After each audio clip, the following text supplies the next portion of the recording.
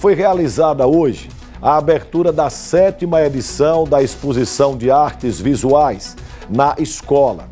A, a mostra é, que está na Galeria J. Inácio, em Aracaju, conta com a apresentação de 45 obras. A exposição foi aberta ao público até o dia 3 de outubro. Na tela. Obras retratadas em desenho, colagem, pintura, arte digital, fotografias e esculturas, que trazem o olhar de jovens artistas. A AVI, essa exposição, ela traz para a gente né, a consolidação de várias ações que começam na sala de aula das nossas escolas públicas estaduais. Então, essa expressão, a arte, se expressar pela arte, diz muito do nosso alunado. E estamos na oitava edição. Hoje, né, a cada ano, a gente se surpreende com a qualidade né, dos trabalhos feitos pelos nossos estudantes.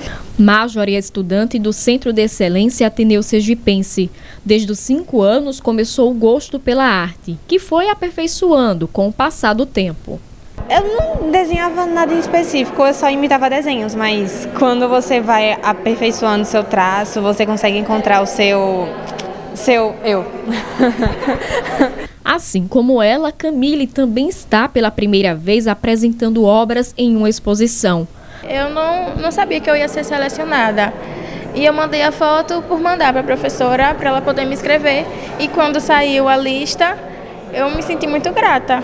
Para quem acompanha de perto o desenvolvimento dos estudantes, sabe o quão importante é incentivar e abrir espaços para a cultura dentro do ambiente escolar.